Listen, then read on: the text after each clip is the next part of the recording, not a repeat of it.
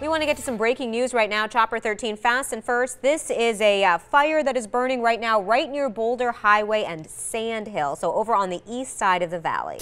Oh, it looks like it's burning hot, and those mobile home parks tend to burn fairly quickly. Those mobile home units are highly flammable. You see trees just laying right on top of that roof, and so, of course, firefighters will be trying to make sure that this doesn't catch in the trees, doesn't quickly spread to other units. But that unit looks like it is really taking some damage there. Indigo was trying to give me some information a moment ago, okay, saying that residents are out there, and you oh. see one of them just using a garden hose, trying to do what he can to keep that fire at Bay, making his way down around to the uh, vegetation there. Firefighters have not arrived on scene yet. Chopper 13 obviously doesn't have to deal with traffic and gets there very quickly.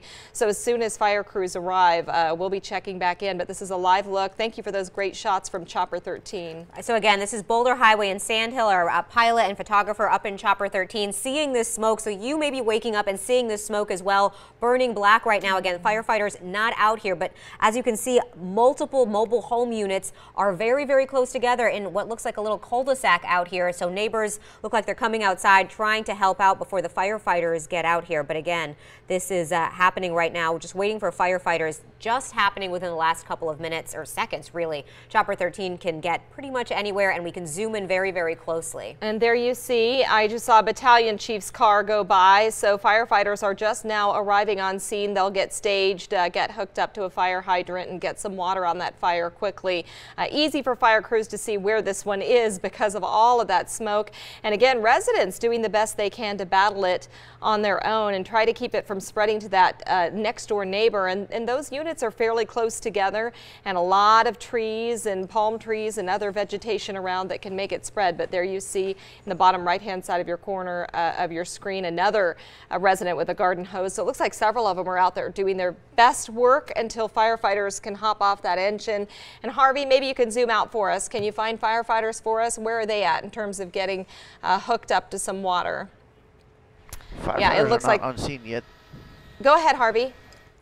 Uh, firefighters are not on scene yet. I've only seen the battalion chief uh, pull up. I've got one rescue coming in into the bottom of the screen there, and they're trying to look for the cul-de-sac that this fire is actually on to get into it and work their way in to get into the fire.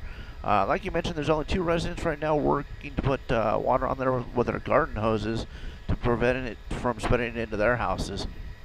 And Justin, it doesn't look like there's too much wind right now, so should at least help firefighters once they get out here as far as containing the fire from spreading to, I mean, all those trees and, again, mobile home units very close together in this cul-de-sac. Yeah, kind of lucky on the east side of the valley, Boulder Highway and Sandhill, as you mentioned, Yasmin, that uh, in that part of town, the wind's only around five miles per hour, so we can watch the smoke just sort of lift vertically, and we hope and cross our fingers that the winds remain calm so we don't have to worry about this jumping from one mobile home or garage or whatever we've got there to the next since they are so close together. Mm.